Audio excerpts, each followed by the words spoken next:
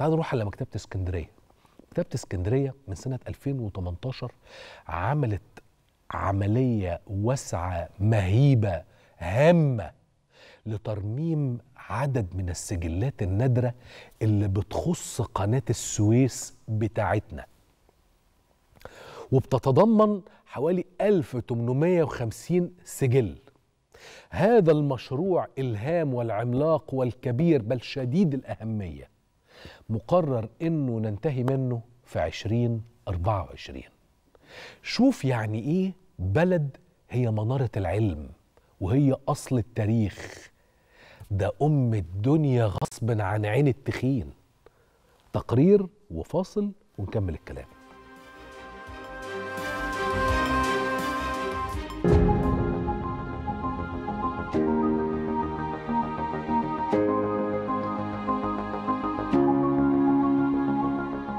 هيئه قناة السويس. طبعا إحنا عندنا 1853 سجل كنا مرممهم لهيئة قناة السويس.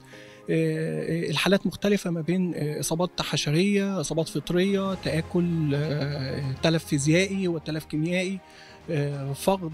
طبعا اللي بيميز المشروع إن القطاعات زي ما هنشوف في التصوير القطاعات كبيرة جدا حجم السجلات كبيرة آه، الأحبار اللي مكتوبة بيها أحبار قابلة للإذابة في الماء. فبالتالي عملية الترميم كلها بتتم بشكل يدوي إحنا الأول طبعا عملية التعقيم اللي بتتم اللي شفناها في الأول آه، دي بتبقى ضمانة إن المرمم يقدر يتعامل آه، مع الوعاء ندخل في مرحلة الفحص والتوثيق التوثيق التصويري والفحص الدقيق للأوعية الموجودة ومن ثم بتتم عملية اتخاذ القرار لحالة الترميم. حالات الترميم طبعا بتبقى مختلفة والقرار بيتخذ طبقا للحالة وال material المكونة للوعاء تعتمد عمليه المعالجه على إن إحنا بنعمل حاجة اسمها ال buffering أو neutralization إن إحنا نزيل الحموضة أو ازاله ال- الأسباب التلف اللي موجودة ناتجة عن الحموضة اللي هي بتبقى واحدة من العوامل الأساسية في تلف الأوراق لأن كل الأوراق اللي بعد 1850 تم معالجتها بمواد حامضيه وبتؤدي إلى اصفرارها وتلفها. فبتبدأ عملية المعالجة بازاله الحموضة. بتزال الحموضة بمواد قلوية آه، بتصنع في المعمل هنا. إحنا حاليا بنعمل المادة دي أو المادة القلوية دي كالسيوم كربونات في ال nano size. ليه في النانو؟ عشان تعمل لنا معالجات على المستوى الخلوي داخل ال- ال- الكتاب أو الخطوط أو الورقة. بيخرج من عندنا الكتاب بيكون في حالة آه، مفككة تامة آه، بعد إجراء عمليات الكيميائية عليه والمعالجات الكاملة. بيروح للترميم بيبدأوا هم المرحلة بتاعتهم في تكملة الأجزاء الناقصه في الورق أو تربيط الكتاب مرة أخرى. وبيعود لنا الكتاب مرة أخيرة عشان نعمل له عملية الحفظ النهائي.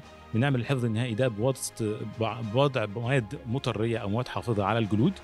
وبعد كده بنحطه في علب خاصة. العلب دي بتحميه من الأتربة وبتحميه من الملوثات الهوائية وبتحط في أماكن خاصه جدا بنحطها في درجات حرارة محددة ما بين 18 ل 22 آه، ودرجات رطوبة نسبية من 40 ل 60 الدرجات دي وال- وال- والأرقام دي هي أرقام ثابتة ومعلومة عالميا بحيث إن إحنا نحافظ على الأثر ده ما يحصلوش أي تلف مستقبلي. شغالين هنا أول حاجة بنتعامل مع السجل إن هو أول ما يجيلنا من قناة السويس بنعمل أول حاجة تعقيم عشان نعرف نشتغل فيه فبنحطه في جهاز incubator عشان لو في أي هجوم حشري أو فطري أو آم، أي حاجة ممكن تضر اللي بيشتغل. إحنا اول حاجة بنعقم ال- السجل ده وبعدين بعد التعقيم بي- بيقعد يجي مثلا أسبوع أو 10 أيام في جهاز كده بيبرد عشان نعرف نعمل آه، تثبيت للنشاط الفطري أو الحشري اللي موجود عشان نعرف نشتغل فيه.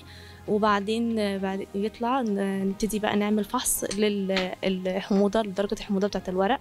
بنعمل فحص لنوع النشاط الفطري أو ال- الحشري اللي كان موجود عشان نعرف هو كان إيه إيه الإصابة إيه سببها. وبعدين بنعمل نقيس الاسيدات عشان نعرف درجة حموضه الورقة. وبعدين بنبتدي بقى نحدد على أساس كل العوامل دي إحنا طرق المعالجة بتاعتنا بتبتدي إزاي.